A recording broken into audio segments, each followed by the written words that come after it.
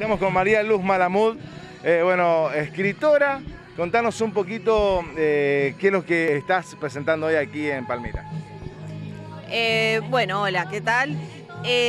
estamos acá en este acto presentando en la biblioteca algunos libros de mi autoría y algunos libros del sello que dirijo, porque tengo un sello editorial acá en Mendoza que se llama Pesmenta y hemos traído el último título que se llama Formas de Ver, que es un texto inédito de Liliana Bodoc, ilustrado por Nadia Romero Marquesini, que es un libro álbum, eh, un libro artístico muy lindo.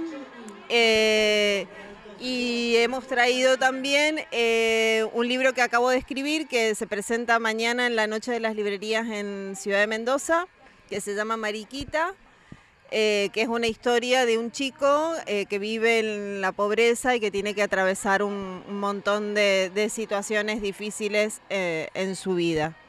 La oportunidad a través de las palabras, de las letras, de encarnar distintas situaciones. hoy aquí en una biblioteca, lugar ideal justamente para las letras. ¿Cómo ha crecido esto en, en este tiempo de pandemia? Digo, ¿la lectura ha ganado terreno? Sí, sí, la verdad que sí. Eh, si bien son tiempos difíciles eh, económicamente para, todo el mundo, ha habido como una necesidad eh, de la gente de encontrarse con, con, el arte y con la palabra y de poder también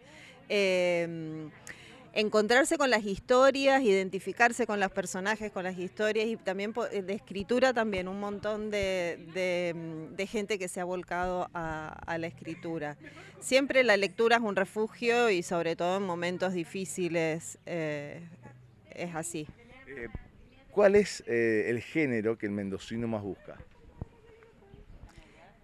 ¿O es muy relativo? Sí, creo que hay gusto para todo, hay libros para todos los lectores. Eh, lo bueno es poder tener eso, variedad para poder en que cada uno pueda tener un, libro a su, a su medida y a su gusto, ¿no? Pero creo que sí, que, hay lectores para, todo tipo de libros. Bien, hoy, eh, a partir de hoy va a estar disponible estos libros que traes aquí en esta biblioteca. Sí, sí, sí. A partir de hoy, acá en la biblioteca están los libros para quien quiera leerlos.